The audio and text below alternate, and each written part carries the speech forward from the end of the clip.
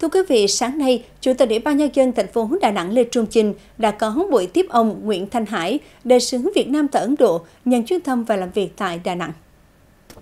Chủ tịch Ủy ban nhân dân thành phố Đà Nẵng Lê Trung Chinh đã giới thiệu khai quát tình hình kinh tế xã hội của thành phố, những lĩnh vực dự án trọng điểm mà Đà Nẵng ưu tiên kêu gọi đầu tư, qua đó đề nghị đại sứ Nguyễn Thanh Hải làm cầu nối để mời gọi các doanh nghiệp Ấn Độ đầu tư vào Đà Nẵng, tiếp tục kết nối xúc tiến tập đoàn Adani của Ấn Độ nghiên cứu, đầu tư vào các dự án về cơ sở hạ tầng tại Đà Nẵng, đặc biệt là dự án cảng Liên Chiểu, hỗ trợ xúc tiến sớm mở đường bay trực tiếp Đà Nẵng Ấn Độ, để mạnh quảng bá, thu hút du khách Ấn Độ đến tham quan Đà Nẵng.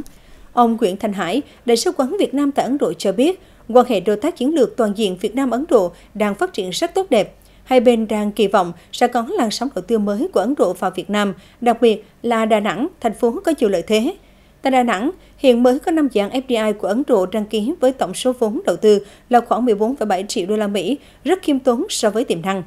Các đường bay thẳng giữa Đà Nẵng và Ấn Độ đang được các hãng hàng không Indigo, Vietjet Air xúc tiến để có thể khai thác trong tương lai gần.